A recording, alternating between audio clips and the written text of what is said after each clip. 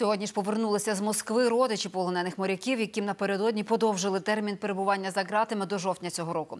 Батьки з нетерпінням чекають звільнення усіх наших хлопців і приємно вражені звісткою, що усім 24 морякам куплять нове житло.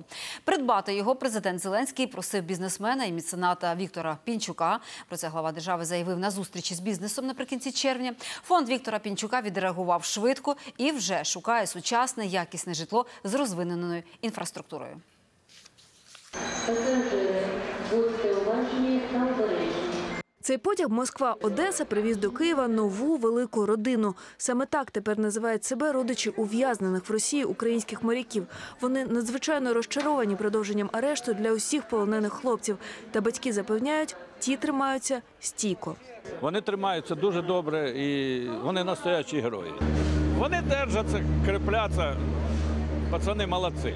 Улибаються, потім побачили батьків. Матері не такі оптимістичні. Делают вид, Ну, что якобы им держатся. хорошо, но мы же прекрасно понимаем, что им очень плохо. И уходим и видим прямо слезы на глазах. Для багатьох жінок ця поїздка на судилище у Москву була вже третьою. Цього разу помітили деяке пом'якшення з боку росіян, тож з'явилася надія. Просили передати дякуємо Україні. У нас ці відчуття з першого дня, відколи хлопці попали. От, але зараз в нас надії набагато більше. Надію зміцнює звістка, що всі 24 моряки-герої отримають нове житло. Це їм пообіцяв президент Володимир Зеленський, який звернувся з такою пропозицією до мецената і бізнесмена Віктора Пінчука. Вони беруть на себе відповідальність за вирішення конкретних питань. Наприклад, пан Пінчук забезпечить зараз же квартирами 24 родини наших полонених моряків. Це наша країна, і ми в боргу перед нею. У фонді Віктора Пінчука радо відгукнулися, бо знають, 70% полонених не мають де жити. Хтось тулиться у гуртожитку, хтось мешкає з рідними або ж винаймає помешкання. Тому нова двокімнатна квартира, а саме такі обіцяють морякам, буде більш ніж доречною. У нашому пріоритеті це купівля житла в одному районі, у найкращому випадку в одному будинку. Ми розуміємо, що має бути добре розвинута інфраструктура, поруч школи, дитячі садочки, громадський транспорт. Ми дуже поспішаємо з цією задачею.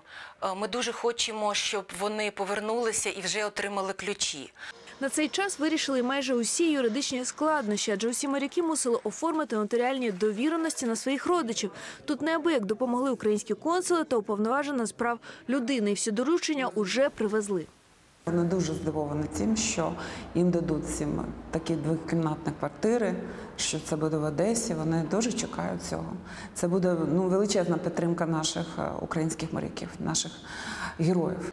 Родичі наших героїв такими новинами дещо збентежені, але вражені приємно.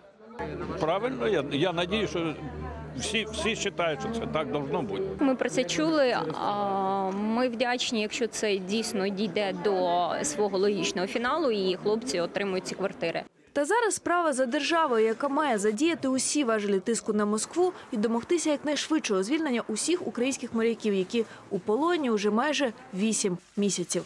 Ольга Чайкова, Василь Андрій Ковальський, Назар Бурхан. Факти ICTV.